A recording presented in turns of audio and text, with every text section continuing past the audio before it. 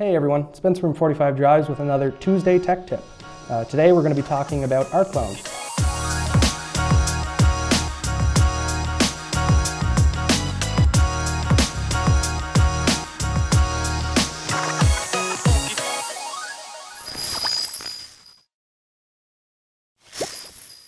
So what is rclone? Um, basically, rclone is a backup method uh, that is meant for file system to object storage or from object storage to object storage. Um, so it's a very convenient way to either back up existing file system data you have onto a cloud provider or back up object data on something like our Ceph platform to another object provider. Um, so we have some examples set up that we're going to go through in just a couple seconds here. All right, so I have my little scratch pad here with all the information that we need to get this set up. Um, so it has the install script for rclone, um, as well as the access information for both a Backblaze bucket, which is what we're going to um, back up our file system data to, and my own Ceph bucket, which we'll back up to as well. Um, so to get started, we'll simply get rclone installed with that script I mentioned. So let me copy that over into here. And that'll go ahead and download and run that script all at once. So with rclone all installed, we'll go ahead and bring up the config menu. Uh, the config menu is really robust in rclone. We have a lot of options.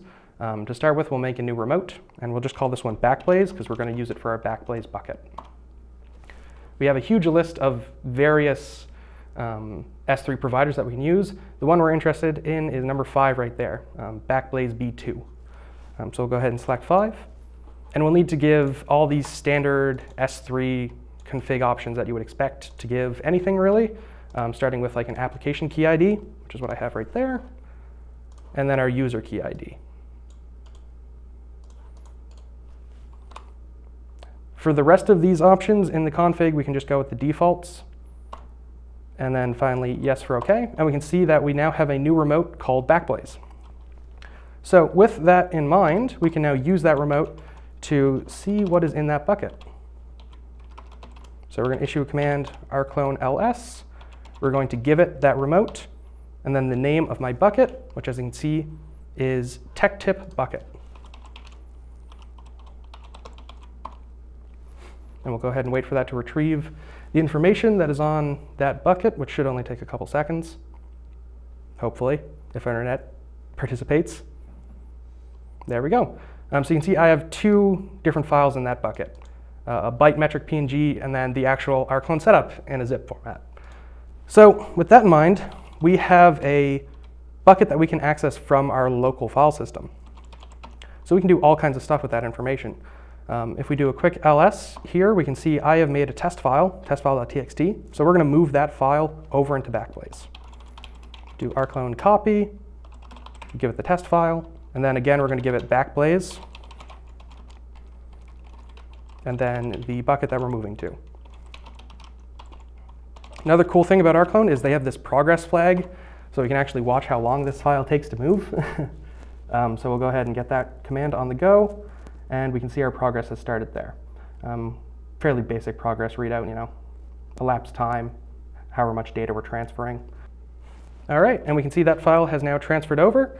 Um, so that's kind of an example of how we can set up Backblaze. And of course, you can set up automated cron jobs to do these backups on an entire directory structure rather than just on an individual file like I've done here. Um, and we have a full guide on how that works as well.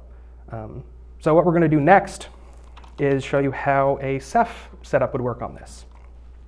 So rclone, as you saw in that config menu, is compatible with a wide variety of S3 providers. Um, so we'll make a new one, and we're going to call this one Ceph. So in our list of S3 providers here, on number four, we see Amazon S3 compliant storage. This includes anything like AWS, AWS, Ceph, DigitalOcean, whatever. Um, for us, Ceph, so we're going to select that. And then on the provider menu, three is Ceph. So um, for the most part in this wizard, we can use the defaults. Um, so for credentials, we'll use the defaults and then provide both our access and secret key, which I've generated up here. So there's our access key, and our secret key. We can go through the defaults for pretty much everything else here except for the endpoint address, which we'll actually need to give the Ceph endpoint that we're using to connect to our S3 storage. In this case, it's this 45127 address.